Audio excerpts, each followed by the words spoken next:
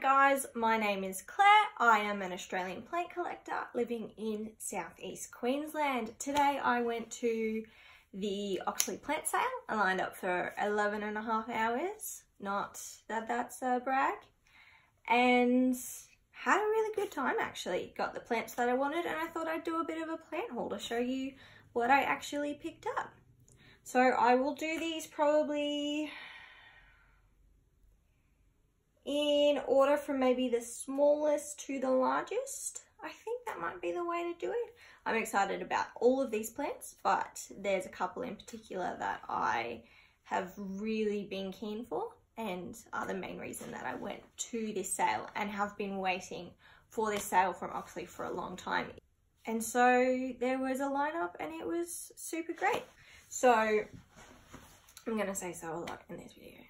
I dragged my lovely husband along with me. I'm very grateful that he was willing to tag team between the line and the car with me for the 11-ish hours that we were waiting in the dark in the semi-cold for this plant sale. Um, we didn't get a lot of sleep. We did a lot of sitting and a lot of waiting. I'd brought a bit of reading to do, but it was nighttime and the lighting was not good. But chatting too much, let's get into the plants. They're here beside me. The first one that I got that I want to talk about is this Hoya Kerrii. It is a green one. And as you can see, it has a very long stem. And there's a few little bits coming through very slowly. Um, I love the heart-shaped leaves. There were the option of variegated ones as well, but I didn't actually like the variegation on any of them. So I decided to go for the plain green one. Um, and yeah, so this adds to my Hoya collection. I might do a video, I might do a series of videos that um, show each, I guess, kind of species of plant that I own and kind of, I guess, go through, you know, what I have, where I got them, how I take care of them. Uh, let me know if that's the sort of video that you would be interested in, please. Um, that way I can make sure that I am giving the people what they want. But yeah, so Hoya Kerrii, or the heart leaf Hoya, I suppose. Really beautiful hearts. They're not all hearts on this plant, but this long boy here was the primary reason that I chose this one. That and we didn't have a lot of time in the enclosure, the cage, for want of a better word, to pick the plants. And after being at Oxley, waiting outside for a very long time, we kind of just wanted to leave. Um, and get home and enjoy these beauties. So first plant, Hoya Kerrii. The second plant that I got that I want to talk about is this beautiful Monstera Standleyana. I think I said that right, Standleyana.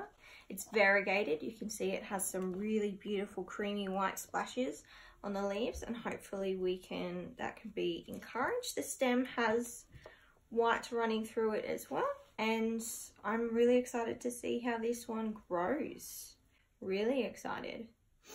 But yeah, that's my Monstera Standleyana. My next plant, I probably took the longest to decide which of the bunch that actually had to offer um, to purchase with this one. This is my Rhaphidophora cryptantha. It actually is two plants in one, I think, because it has two lines running up it and I'll show it in a close-up but it's got one coming up this way and then if I turn it around it's got one going up this way. Now this guy's actually almost outgrown his pole. I have no idea what I'm going to do when he does get too tall for it. If any of you know anything or you know any experts on cryptanthas or shingling plants please let me know. I would really appreciate the help but it's just really cute and I couldn't pass it up. So this is my Rhaphidophora cryptantha. My second last plant is one that I have been wanting for a long time. I first, I guess, saw it or the first time that I really looked at it and thought, wow, I need this was uh, Collector's Plant, who is on Facebook and Instagram. She's a Australian plant seller. Uh, posted one. It was $300 though, and well, it's not... Is it the most I've spent on a plant? Well, it's not the no, that would be the most I'd spent on a plant. I hadn't at that stage spent that much money on a plant yet and it was going to be posted. I had just bought an Anthurium crystallinum from her and just couldn't really justify getting it. And I didn't, I showed my husband and was like, what do you think? Kind of trying to get him to be an enabler, I suppose. And he's really good at that. But this time he was like, no, I don't think it's worth it. And then there are auctions on eBay, Facebook, around the place, but again, they just get up and up and up. So I was looking for an affordable one of these and I was willing to wait, but I'm really glad I didn't have to wait too long. So this is my Philodendron Majestic. If you don't know, Majestic is a cross between a Philodendron Sodiroi and a philodendron verrucosum. You can see the back of the leaves have that red that a verrucosum have. It's got quite a nice texture on the stems. It's got a couple of little aerial roots starting to go through. Oh, and it's got a new leaf on the way. That's really exciting. There were only two in this size available, hence why I wanted to get there as early as I could. The sale started at 8 a.m and my husband and I arrived outside Oxley nursery at around nine. Thank goodness we packed camp chairs and pillows and blankets because it got down to 12, which isn't the coldest, I understand, but it kind of is if you're just sitting still outside all night. It gets a bit cold, but definitely worth it for this guy. Really, really love it. Really excited hoping that it grows super big and strong and happy so that I can enjoy it forever. now, finally, this is, I think, the reason that the majority of people turned up to the sale. These are the plants that we could see through the wire fencing into the little enclosure they were grown in little backstory, the owner at Oxley came out and kind of said hi to everyone lining up, took some photos and explained that they'd been growing these plants for three and a half years. They'd been growing them in this, it was um, protected from the wind, but everything else, there wasn't a hot house, so there was no extra humidity, there was no extra lighting, there was no extra heat. It just lived through the Queensland weather for three and a half years. So this is my Philodendron melanochrysum. It is so beautiful.